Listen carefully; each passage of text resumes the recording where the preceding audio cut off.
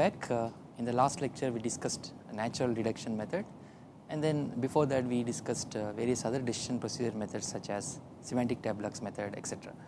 So using those particular kinds of methods we can discuss we can uh, decide whether a given well formed formula is valid or when two groups of statements are considered to be uh, considered to be consistent etc. So in this lecture I will be focusing my attention on some of the important and celebrated results in the first order logic. And uh, these are uh, usually there are many theorems which are uh, widely used in the first order logic. Celebrated results and all. One of the important results in this first order logic. And in that context I will be dealing with three important theorems. I am not going to so when you say that something is a theorem it has to find a proof and all. I may not be able to produce proof of uh, all the theorems that I am going to talk about in this course but uh, basically I will be giving you some kind of idea about these three important theorems. So I will be talking about completeness theorem which is due to a famous logician Kurt Gödel. And then I will be talking about one of the important theorems which is uh, known as compactness theorem. And third one which is uh, discussed widely in the literature of logic. And uh, no course of logic would be complete without this celebrated result. So that is the Gödel's incompleteness theorem. So Gödel uh, has been uh, uh, has been credited for both the completeness theorem as well as the negative result that is incompleteness theorem. Uh, incompleteness theorem is used uh, widely used misused and even sometimes even abused also.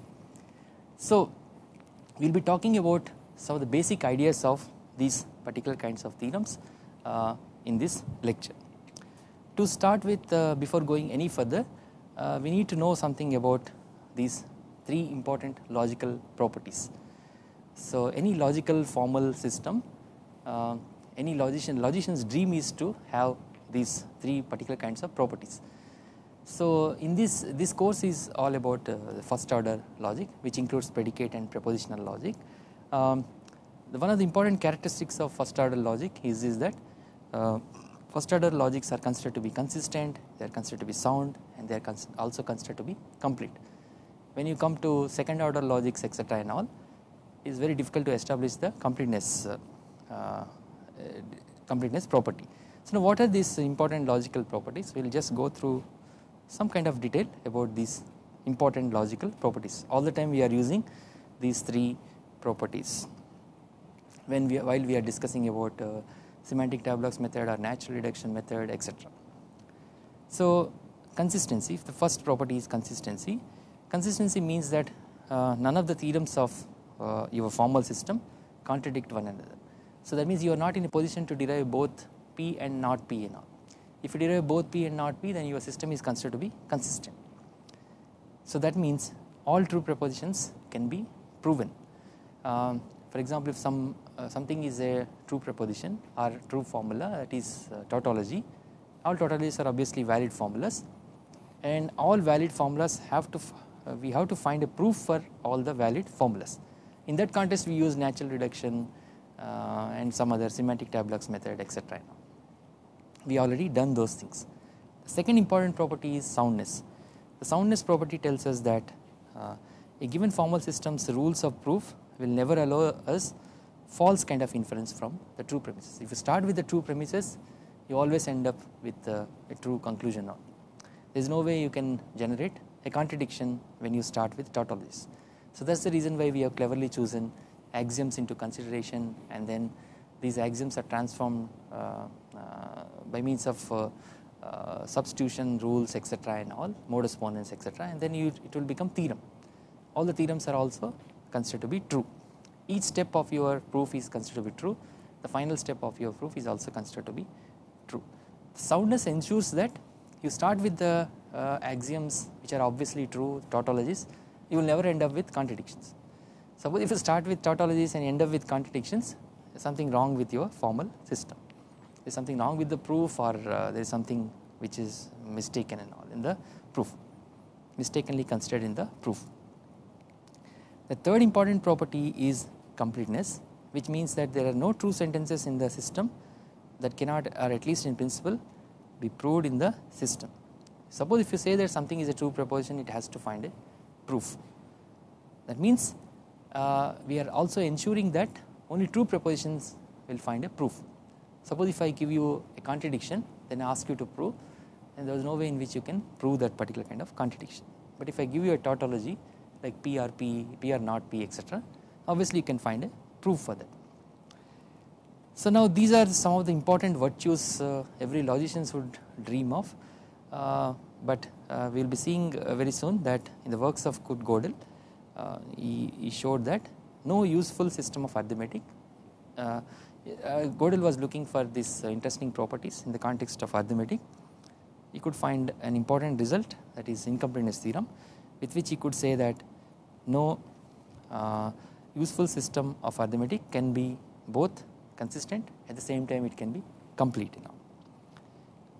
So it has to be inconsistent to be complete or it has to be incomplete to be consistent etc.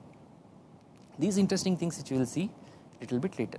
So now we will be focusing on three important uh, theorems first is completeness theorem second is compactness theorem which, which uh, has its consequence to another important logician Löwenheim Skolem Löwenheim's theorem and then we will end up with Gödel's incompleteness theorem and its impact uh, on uh, in the area of philosophy. So before going further uh, just we need to know something about the first order logic. So when we say first order logic it means uh, this first order logic only allows quantified variables to refer to objects in the domain. In the domain we have objects, predicates, uh, functional symbols etc and all. So the quantified variables refer to only objects in the individual uh, in, in the domain of discourse but not the predicates or functions. If you also take into consideration predicates and functions etc you are talking about higher order logics second order third order etc. First order logic is usually considered to be a powerful and expressive system which has been used to formalize basic systems of uh, mathematics arithmetic etc set theory and any other real closed field which are related to these two fields. It is mostly suited for the mathematical reasoning. You should not be under the impression that all kinds of reasoning can be captured within the scope of first order logic that is a mistake. Uh, so, uh, first order logic is not supposed to capture everything and all it basically as far as possible it tries to capture mathematical reasoning. So, now to start with we will begin with the compactness theorem. Compactness theorem tells us this thing Suppose if uh, assuming that S is considered to be a uh, set of well formed formulas of uh, first order logic, we have seen what how we constitute well formed formulas for the first order logic. So now if you take S to be the well formed formula then every finite subset of S if it is satisfiable then that particular kind of set S is also considered to be satisfiable. So there are S is considered to be some kind of uh, uh set of uh, well formed formulas and then let us assume that uh, S1, S2, S3 are subsets of S. If every finite subset of S that means S1, S2, S3 they are all um, satisfiable then obviously the conjunction S1 and S2, S3 is also considered to be satisfiable. That is if a set of sentences is such that every finite subset of it it has a model then the whole set is also having a model. So that means you need not have to worry much about all the uh, uh, all the uh, sets of formulas and all, but you can even if you have a finite subset of set uh, which which satisfies this particular kind of thing, then uh, you can extend it to the whole uh, set. you can say that whole set is having the model. One lemma for this one compactness theorem is this thing if S is consistent set of sentences then obviously S has to have a model. So proof of compactness theorem goes like this just I am giving you a general description of uh, proof. So you need to note that each and every theorem should should find a proof and all although I am not producing proofs of all the theorems that I am trying to discuss my intention is to talk about only the general idea of these proofs where it is uh, later we can see where it can be applied and all.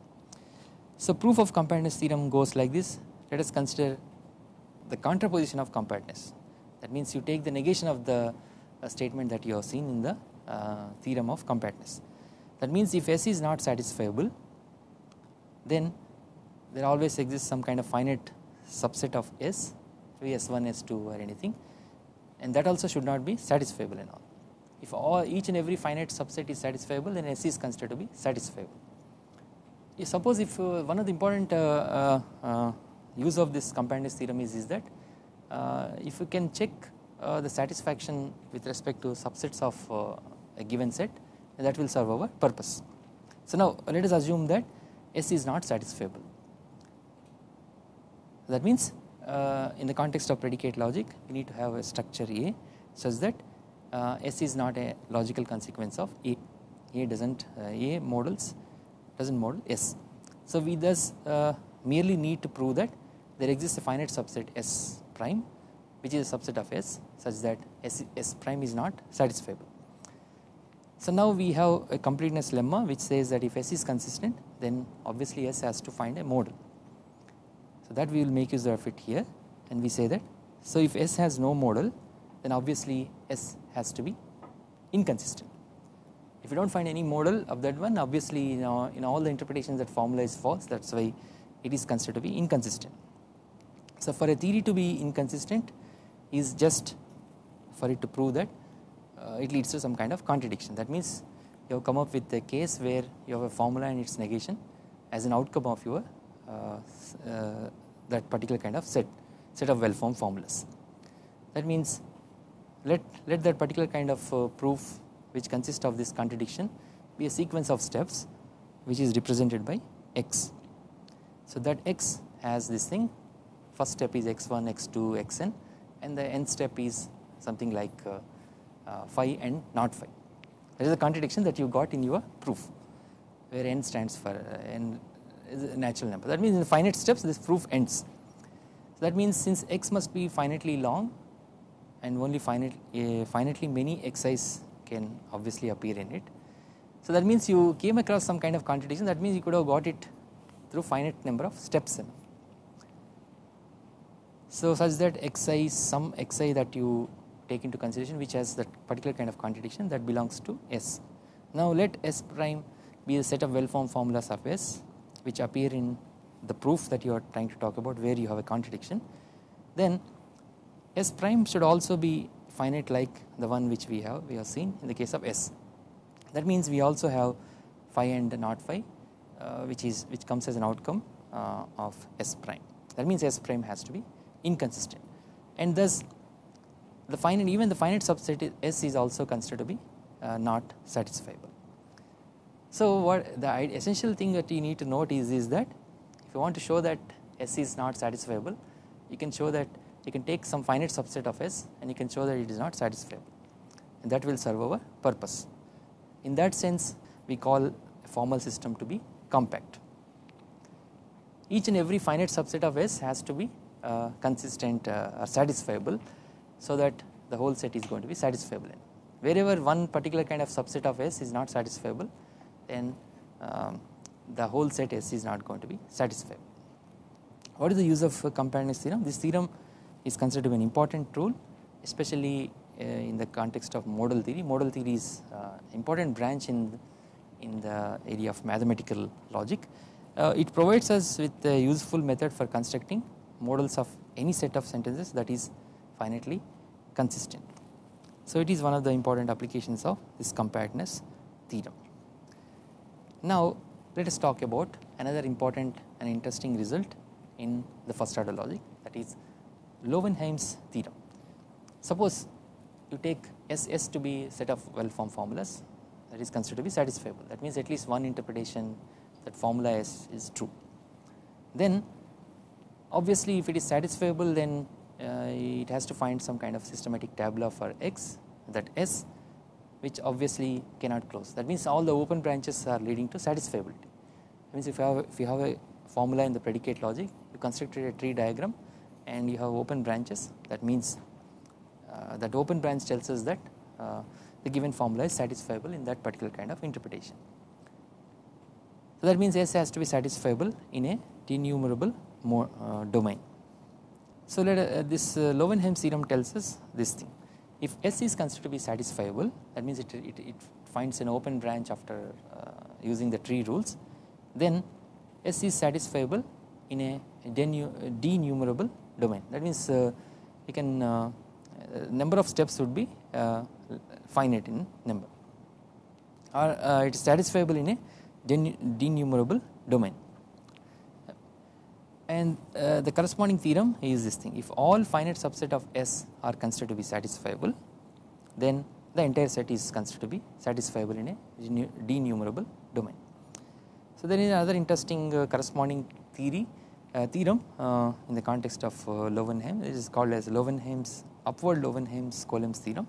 So this tells us this thing. If a if a theory S the formal system S has an infinite model uh, then S uh, this particular S has arbitrarily large kind of models. If it is infinite model it will have uh, it will take a lot of time uh, it will take infinite number of steps. So S has infinitely large models for example if you want to see uh, the one of the applications of this particular kind of uh, uh, theorem it is like this. Uh, this formula for all x px for all x qx implies for all x px or qx is going to be tautology that means hence it is valid formula. But if you take the uh, vice versa of that one that is for all x px or qx implies individually for all x px or for all x qx that is considered to be an invalid kind of formula.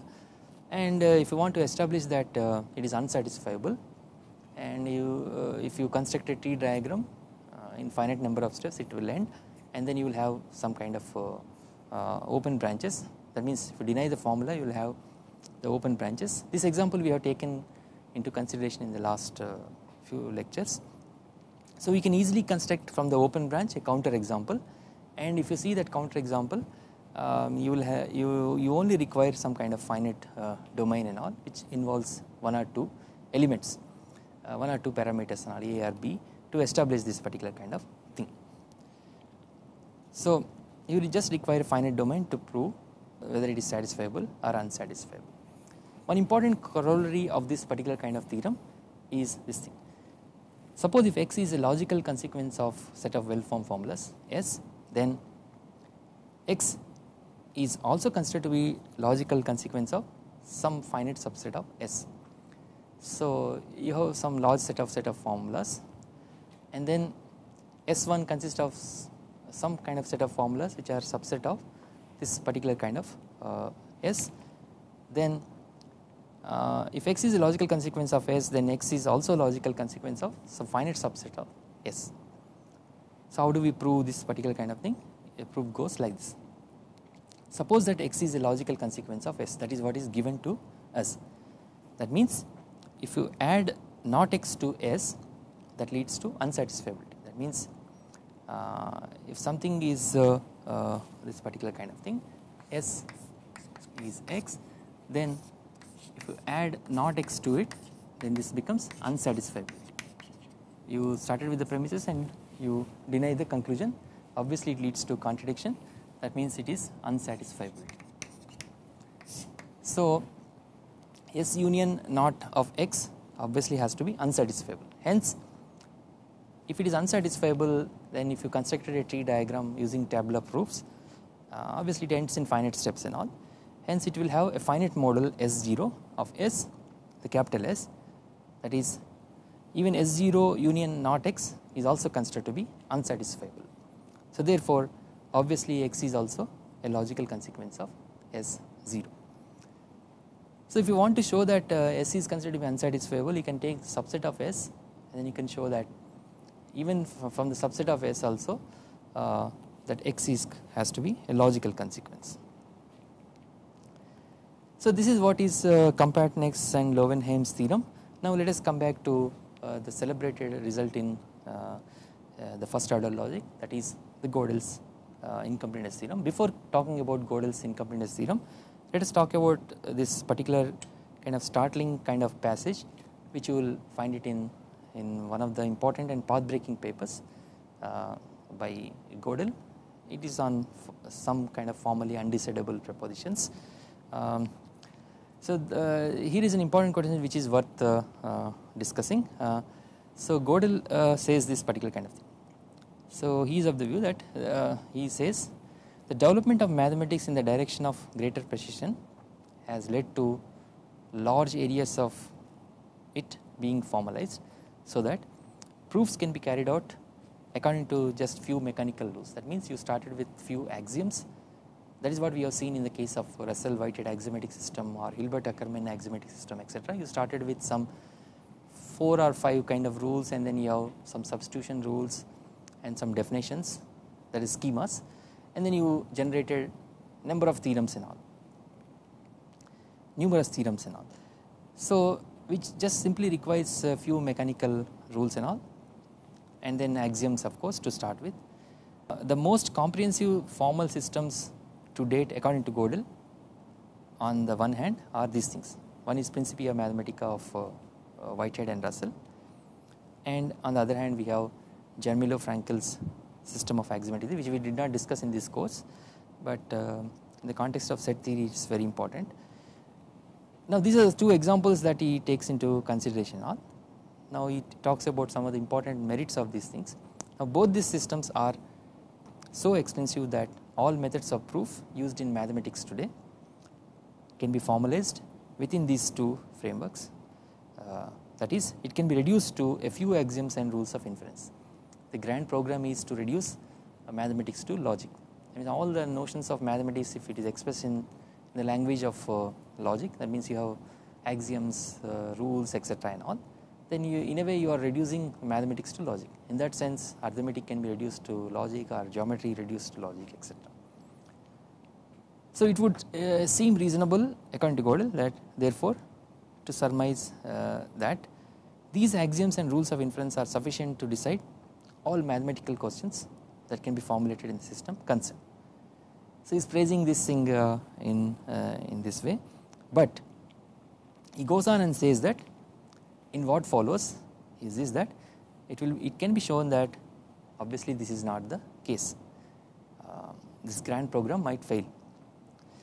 But rather that in both the cited systems there exist relatively simple problems of theory of ordinary whole numbers that cannot be decided on the basis of these axioms. You will not be in a position to decide whether x is x can be proved or not x can be proved and all. That leads to undecidability uh, undecidability or incompleteness.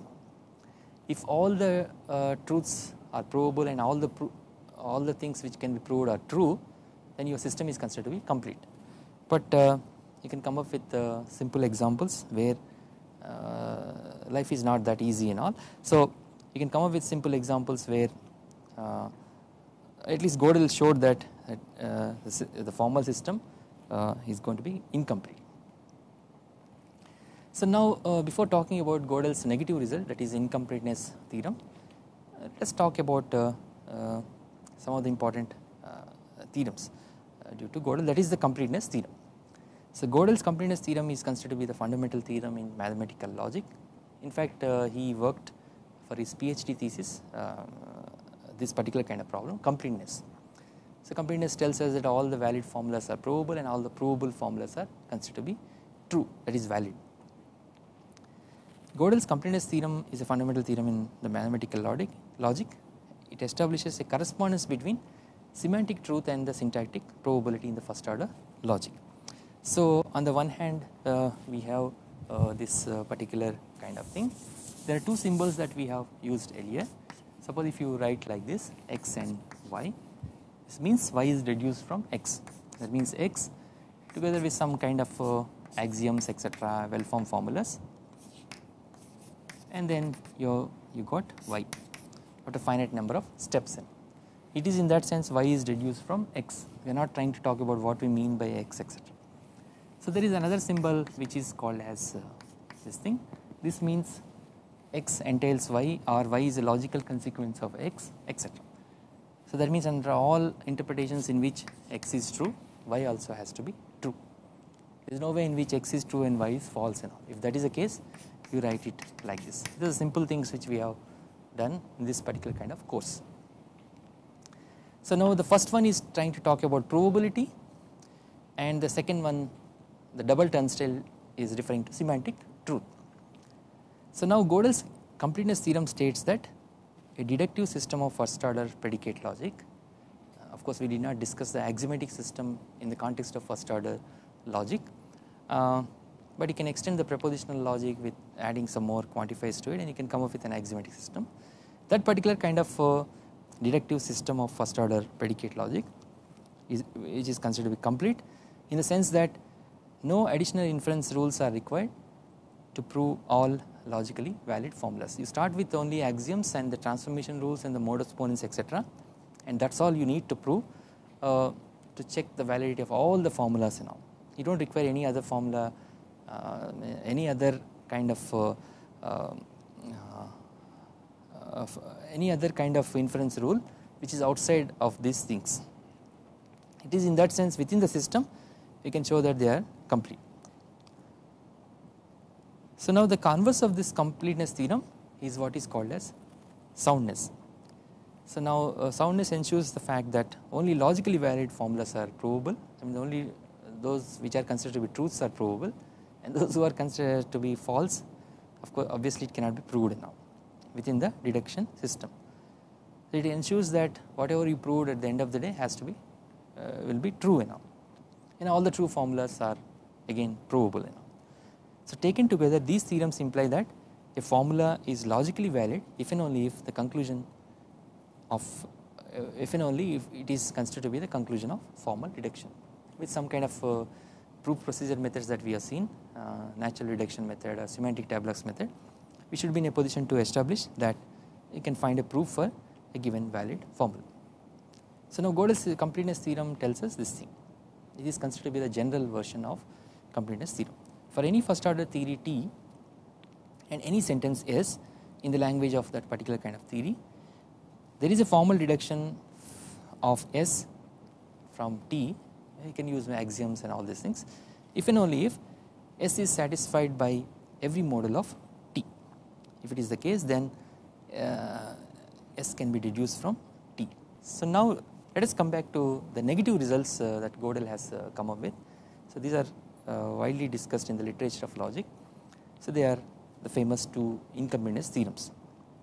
The first one is uh, first incompleteness theorem it tells us that it roughly states that any formal mathematical system which is sufficiently powerful to include for example arithmetic, geometry etc contains a particular kind of statement which is true but it cannot be proved uh, within the system that means it incompleteness results in all. So that particular kind of formula is obviously true but it cannot be proved. So this is uh, Gödel's completeness theorem links these two things, two notions. This is semantic uh, notion and the other one is syntactic notion. So something which is true uh, has to be provable. Now Gödel has come up with an interesting observation which is considered to be a path breaking result in the area of uh, first order logic. That is does all the true statements all the valid formulas find a proof?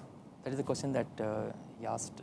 And in the context of arithmetic especially there are some kind of obviously true propositions we talk about some examples a little bit later. And they are obviously true. Our gut feeling says that they are obviously true but they are not provable. That leads to incompleteness. That means whatever all the valid formulas are considered to uh, all the valid valid formulas should find a proof. If you are not able to prove it in the system is called as incomplete.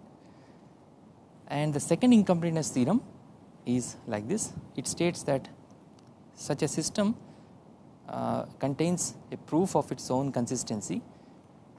Suppose if you want to show that uh, uh, if you want to show the consistency of that particular kind of system and you can show it only when if and only if it is in fact inconsistent. It has to be inconsistent to be complete. So that seems to be a major blow to uh, Russell Whitehead grand program uh, of logicism and even Hilbert Ackermann's uh, um, Hilbert Ackermann's uh, axiomatic system. Russell Whitehead is motivated by arithmetic as well as, as uh, whereas Hilbert Ackermann is motivated by geometry. So here incompleteness means that there are uh, that there are uh, that in the language there are some undecidable kind of sentences. That means sentences that could not be proved nor disproved in the theory. There are undeducible kind of sentences. That means uh, there are obviously true statements in all but we are not able to prove we know that x is true in all but we are not able to prove x. Uh, we are not able to prove x means we are not able to deduce x and at the same time we are not able to deduce even not x also. At least one of these things should come as an outcome in your theory. If both the things will come as an outcome obviously the system is considered to be inconsistent. So that means you should be in a position to derive either x or you should be in a position to derive not x if both are not derivable and all then it leads to incompleteness. Now the second incompleteness theorem means that the theory makes it possible to deduce both a sentence that is alpha and its negation. Uh, that is if you can deduce x and not x then that is uh, contradiction is part and parcel of your system. And that means uh, you can derive anything in all. So this is what we have seen earlier. Uh, if 2 plus 2 is equal to 5 uh, it is a humor uh, we use this particular kind of example. If 2 plus 2 is equal to 5 which is considered to be contradiction Bertrand Russell has showed that he, he is considered to be he is a pope 2 plus 2 is equal to 5 Bertrand Russell is a pope. So from contradiction anything you can derive. So if your system has to be inconsistent to prove the completeness then there is something wrong in the uh, system that leads to incompleteness theorem 2. That means uh, anything uh, if you can prove anything in all then the theory is going to be entirely useless.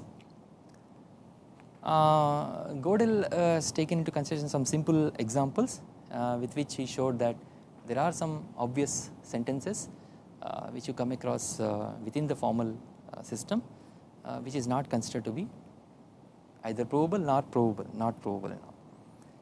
So let us consider the sentence 2 this sentence can never be proved. These are the sentences which he has taken into consideration. And then he showed that you cannot deduce even x. That means you cannot prove x. That means this sentence can never be proved is can be deduced or this sentence can uh, never be proved. That is the uh, it is not the case that this sentence can never be proved. Also will come as an outcome of uh, your formal system. That means both cannot be proved. That leads to incompleteness. Now take up the first sentence. You have no way of knowing whether in the context of uh, knights and knaves puzzles Smullyan has nicely uh, put uh, this thing in the context of Gödel's incompleteness theorem. Let us take this example. You have no way of knowing whether I am a knight or a knave based on this statement. This statement is the statement that we have made that is you have no way of knowing whether I am a knight or a knave based on this particular kind of statement.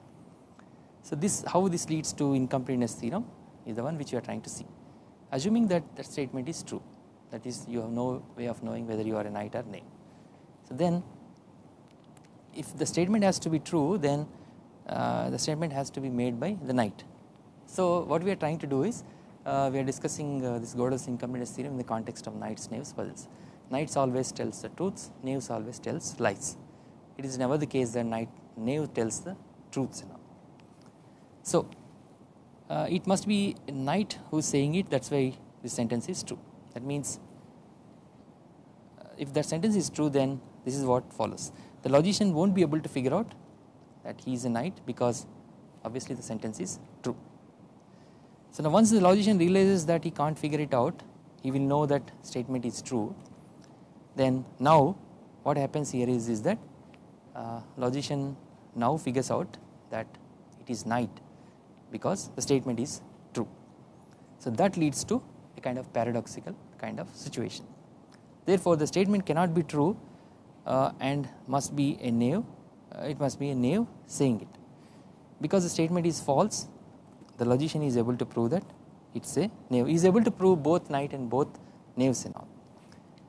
So that leads to uh, some kind of problem related to incompleteness. Gödel also takes into consideration some simple examples such as uh, let us if you consider a formal system S that proves various English sentences uh, but only true ones. Now let us take one simple example uh, now we are asking this question what sentence that particular kind of thing be such that it has to be true but it is not provable in the system. We have taken natural language sentences and all we are trying to come up with one particular kind of statement uh, which is obviously we know that it is true but it is not provable in the system. He takes this particular kind of example this sentence is not provable in the system that particular kind of thing is considered to be a sentence which represented which is represented by S. Now if the sentence were false that means it is false that that sentence is not provable in the system. Then contrary to what it says what will happen is it would be provable in the system. If the sentence is false and all then what it says is true. It, uh, it contradicts the given fact that the system proves only true sentences and all because here it is we are proving false sentences also and hence therefore the sentence cannot be false. So you are assuming that sentence can be false it leads to uh, a fact that it cannot be false now because it leads to contradiction.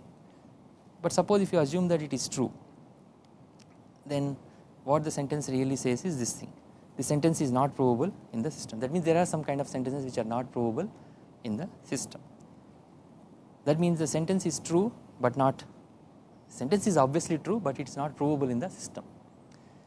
So in both cases if you take uh, this particular kind of sentence that this sentence is not provable in the system if it is false there is a problem if it is true then then also there is a problem. So the system has uh, the sentence has to be true to be not provable and it has to be provable then it has to be false now. that means all false sentences you are able to prove and all the true sentences which cannot be cannot be proven and all. So that goes against this particular kind of thing that all the valid formulas should find a proof all the true formulas should find a proof and all but you are not able to find a proof for this one because you are not able to find x you are not able to find not x also.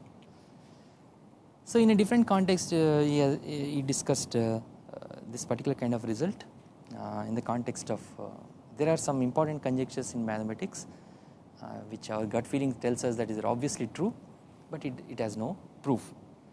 You have to note that all the theorems should find a proof if you if you say that something is a theorem and it has, it has no proof then that is not considered to be a theorem it is simply either it can be called as a conjecture or some kind of assumption or your belief or etc.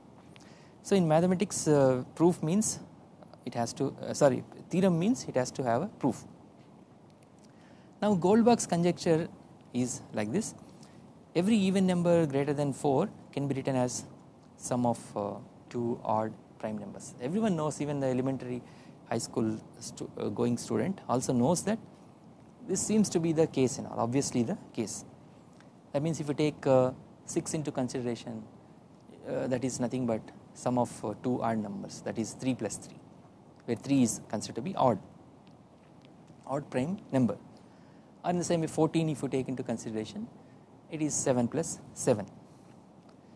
So we know that uh, every even number can be expressed in terms of uh, greater than 4 can be expressed as sum of two odd prime numbers. The prime numbers obviously odd only. So, so now every number greater than 2 this is also another way of uh, putting it uh, this Goldbach conjecture.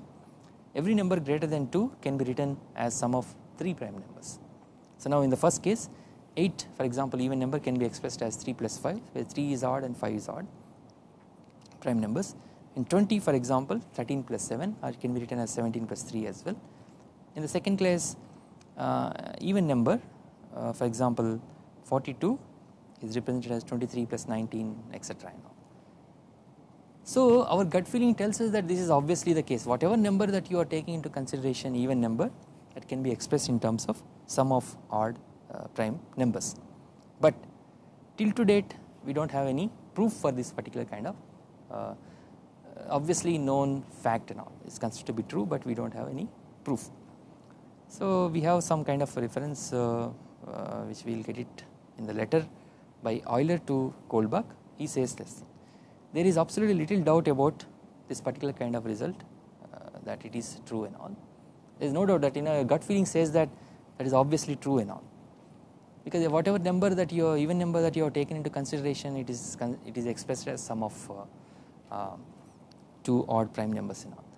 But what is the guarantee that there exists some kind of big number where it cannot be expressed as sum of odd prime numbers and all. We do not know at this moment. So, so there is it is not proved yet.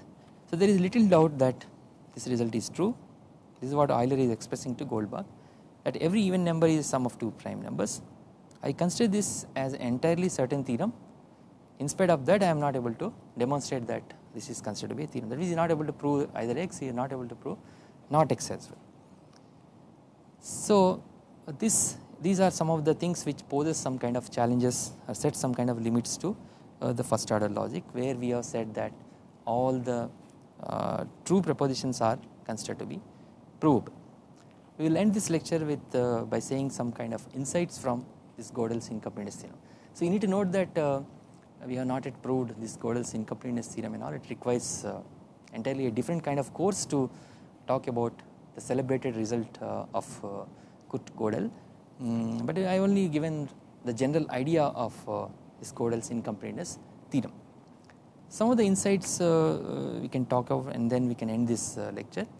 So Gödel's incompleteness theorem establishes a kind of first of all the, uh, the completeness theorem which is uh, mostly ignored by many logicians and all. Is also considered to be one of the celebrated results and all. Mostly people are interested in the negative result uh, incompleteness etc but completeness also he worked out in in his PhD thesis. It establishes a correspondence between semantic truth and the syntactic provability. Single turnstile and double turnstile in the first order logic. Whatever is provable is true whatever is true is provable and we have also seen that completeness theorem is applicable only for first order logic in the case of uh, uh, if you talk about uh, variables ranging over predicates functional symbols etc we are talking about second order logics it loses some of the interesting features like completeness consistency etc it's very difficult to establish these important logical properties. The theorems become incomplete in the case of higher order logics, third order logic, second order logic etc. So now Gödel's incompleteness theorem also says that a consistent system can never be complete. If it has to be complete it has to be inconsistent. That means consistency and completeness uh, can never go together. Consistency means you are not in a position to derive both x and if you are able to derive both x and not x the system is called as inconsistent. Either you have to derive x or you have to derive not x uh, completeness tells us that uh, if something is uh, true uh, it has to find a proof. Uh, this both consistency and completeness uh, never go together it is giving us some kind of impression that they do not go together. So now if you observe if you have if you have some kind of closer scrutiny over our own individual lives and all we realize that the realities of our life with its promises and uncertainties etc all can be expressed only in higher order uh, higher in order so that means uh, uh, there is some kind of incompatibility between consistency and completeness so all these things there is some gap between consistency and completeness so now the real question comes to us is uh, which will be raising in a while from now. So now the mathematical notions of completeness and incompleteness together provides us insights for science and religion dialogue for a better comprehension of reality in life.